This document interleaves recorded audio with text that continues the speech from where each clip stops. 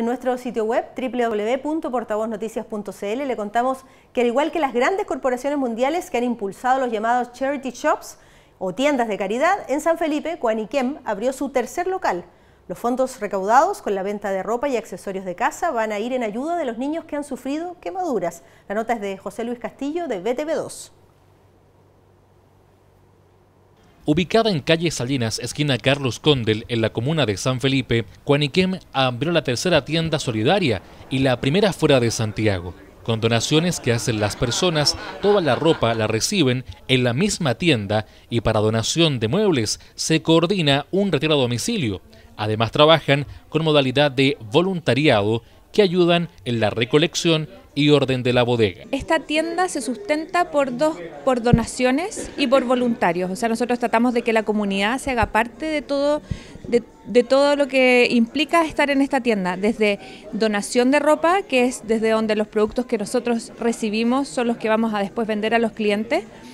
Eh, que esa misma persona después de donar su ropa venga a trabajar como voluntario a nuestra tienda, que done tres horas al, al día en turnos de lunes a sábado y que pueda venir a apoyarnos acá, tanto en la tienda misma como también en la bodega clasificando ropa. Y la otra parte, como también nos puede ayudar la gente, es trayendo sus donaciones a la tienda. A inicios de este año se inauguró la primera tienda solidaria en Providencia y este mes se abrió la segunda en el barrio Lastarria, siendo la de San Felipe la primera fuera de la capital. Para Quaniquem ha sido una experiencia en la que se ha podido hacer un cruce entre sustentabilidad y solidaridad, ofreciendo buenos productos a precios muy convenientes, dando nueva vida a objetos y ropas con poco uso. Que fue una decisión de atreverse un poco, ya, porque se ve, es que se dio todo, se dio todo, se dio esta casa, se dio que el dueño de esta casa, un un caballero súper generoso también, entonces se dio para hacerlo aquí. Realmente creo que nos va a ir bien y necesitamos gente que sean voluntarios para que vengan a ayudar a seleccionar la ropa, ¿ya? Eh, y, gente que nos done. Cuaniquem rehabilita 8.000 niños quemados al año de forma gratuita y estas tiendas, sin duda, ayudan a conseguir los recursos para esto. Además, existe un trabajo de prevención, capacitación e investigación en lo referente a patologías vinculadas a lo que Cuaniquem trata, actuando en conjunto con sus familias. Desde nuestro Facebook le contamos que los niños del Jardín Infantil La Marina del Quisco disfrutaron de un tour por el litoral de los poetas, una actividad que rescata la importancia cultural de las playas de la zona en la educación de primera infancia. Giro Visual nos muestra esta forma de educación en la región de Valparaíso. Los niños del Jardín Infantil Villa La Marina, a través de una iniciativa que nace de las educadoras, realizaron un tour por las playas del litoral central con la idea de que los pequeños conozcan la cultura que existe en la zona. Estamos haciendo un recorrido por la comunidad, recorriendo la caleta, la casa del poeta, vamos a ir a Punta de Tralca, a conocer el mirador. Salimos con los niños a hacer este recorrido. ¿Cuál es la idea un poco de la actividad? Conocer la comunidad, acercarse más con los niños, que la conozcan más, que algunos no la conocen toda la comunidad. Dentro del proyecto incluye este tour que es por la comuna, para que los niños conozcan más sobre la comuna y eh, se ambienten para que ellos puedan más adelante ser, eh, ser guías para otros niños y también darle la, eh, contarle la experiencia a los padres para que ellos también conozcan sobre la comuna y participen una interesante actividad que busca acercar a los niños y a sus padres a la cultura local, poniendo en valor las zonas típicas del litoral de los poetas.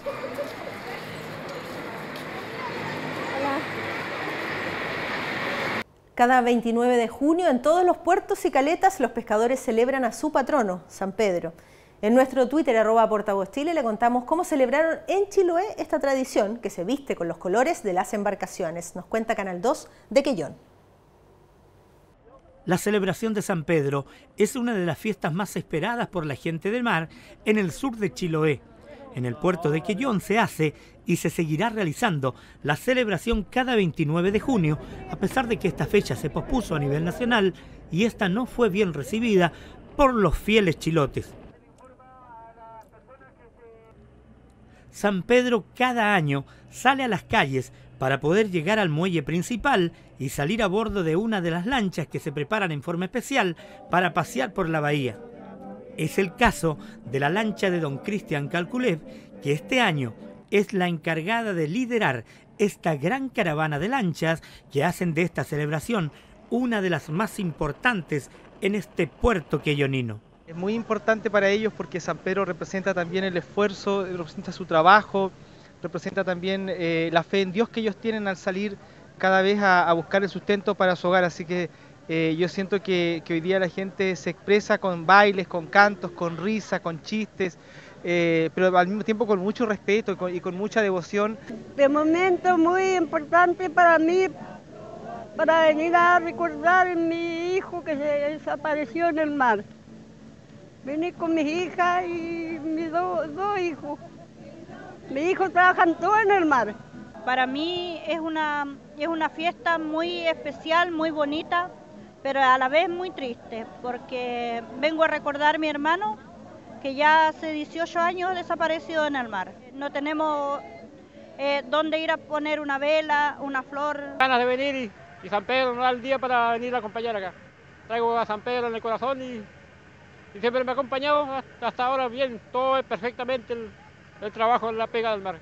Agradecido por la gente porque como te digo el tiempo está súper malo ayer, hoy día se abrió un poquito, agradecer a la autoridad marítima, la voluntad tremenda de la autoridad marítima hoy día de, poder salir a navegar con San Pedro. Como viste tú, nadie salió a hacer laboral ni en el puerto ni, ni en el mar, esperando esta festividad con todo el respeto que se merece y la devoción de la fe.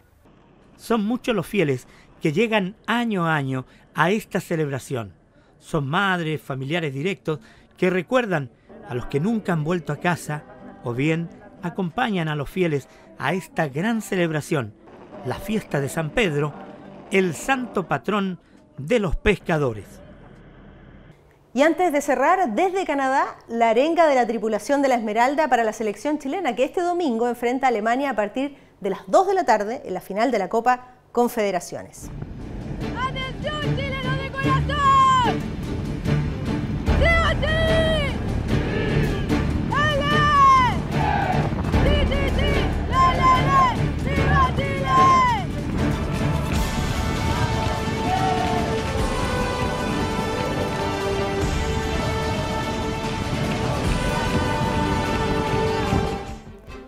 Ahora sí, despedimos Portavoz Noticias, el trabajo de los 23 canales regionales agrupados en Arcatel.